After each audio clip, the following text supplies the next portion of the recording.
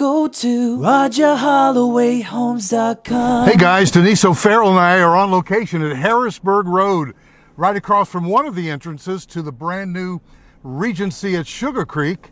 It's Sugar Creek everywhere, right, Denise? It's uh, we've got everything, a little bit of everything for everybody in Sugar Creek. Now we've got two developments from Taylor Morrison, and you're uh, very much in touch uh, with them. Uh, tell us what we got here. Right now, we are driving through the estates at Sugar Creek. This is going to be a single family community totaling 130 homes. Wow.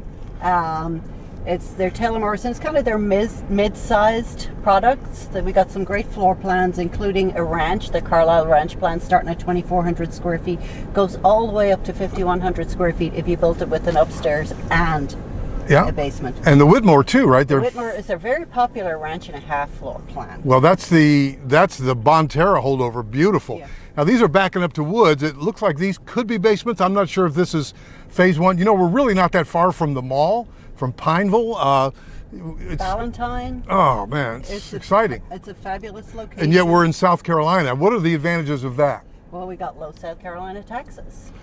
And for some people of, of a certain age, there's a homestead exemption. It's your primary home after your first full year. Um, but I mean, just the proximity to so many things. And if you have children, the Indian land schools are really coming on strong, aren't They're they? coming on strong, and the school district has some bought some land in the area to add uh, a new middle school and a new elementary school. I'm trying to pull the lot numbers there. That could be 14. It's kind of like taking an eye test. I took one last week, and it's like, I think it's a six, but it could be an eight. well, 79 was just on the other side. On so- to your right. Okay, good. So we got a lot of woods, a lot of trees. It's at Sugar Creek. So there, I, I walked down to where the basement lots are, which is probably where we'll end up. Didn't you have a story that you wanted to tell me? I did. I want to let everybody out there know that if you are visiting a model home or talking to a builder online, you have to let them know up front that you would like to work with your with a realtor. And you really should have the name of the realtor. You should have the name of the realtor. Exactly. I, I met with some new clients today and they'd arrived into town early yesterday, just wandered into a model home, kind of said, Oh, you want to speak to a salesperson? You got to sign this registration card. They didn't have my details. They said, No, we don't have a realtor with us today. That particular builder will not allow them to add a buyer agent to any transaction. So if they want to have a buyer agent, they're going to have to pay for it out of their own pocket. And you know, the truth of the matter is, folks, you're paying for it whether or not you use us. And the builders know the numbers, the percentages of people that will come in without a realtor and, and, and won't. And the bottom line is don't go into a model home until you have secured a realtor. Don't even fill out a form online because that's how they get you. This is 35 we're looking at right here. So they are paying for the agent. It's built into the price of the house through Yeah. the marketing budget for the company. Right. And yet the builder won't do it. So, in other words, uh, starting today, you are able to put your name down. Uh, and really, our heart is to help uh, somebody through the many moving parts. There's a good example of they didn't know that very first step, which is to identify uh, a buyer agent. So um, they can put your name down, Denise O'Farrell from Prosted Realty, and then give me a call or, or call Denise. We'll give you Denise's phone number here in just a second. I'm going to take another round because there's Harrisburg Road up there. The models are going to be we're at, on. Oh, I like the name of that road, Sugar Creek Road. Wow, and Indigo Branch. So there are going to be some basement homes right here with some beautiful woods in the back. I walked down there to the retaining wall and I just heard some most amazing sounds. It sounded like water, but I just imagine the wildlife is fantastic. Now these are going to back up to that berm, which is Harrisburg. What what would you advise a client about that? I would say if you call me in a few years to relist that home, I would be a little bit concerned about buyers' objections to living there, to buying that home from you. Whereas on on, the, the other opposite side. yeah, which backs up to to homes. So it really gets to be your preference. But Denise, because you're such a great listing agent as well, I like the fact that you uh, think that through and help them. It doesn't mean you wouldn't list it. Doesn't mean you it wouldn't sell. Somebody may want to back up to no other houses, but yet you've got the road noise, and that's going to concern maybe somebody down the road. And, and, and in my experience, people tend to, most people would prefer to not back up to a road like that. Yeah. Some other things you're noticing here, it's hard to tell because the lots aren't really marked that well.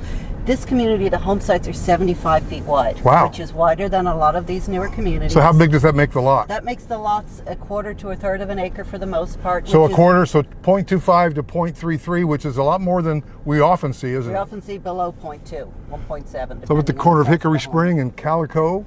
Uh, this is exciting, guys. So now, what what's the time frame on a, a lot release, and what do you think price points might be? Price points, we're thinking of, they're going to, no pricing, official price, uh, official pricing available yet, but talking to the agents, they think are probably going to be in the, starting in the 700s. Oh, I will say this: I'm looking at the silt fence, and that is for erosion control. It's required, and I'm looking over that silt fence, and I'm seeing some beautiful trees, and there's going to be a lovely view here in not too many weeks of our deciduous trees uh, turning to a beautiful color. Beautiful fall colors. And so the topography here is kind of cool because now as we're coming up here to uh, Baker Creek Road, you see that it, it kind of curves and it goes down.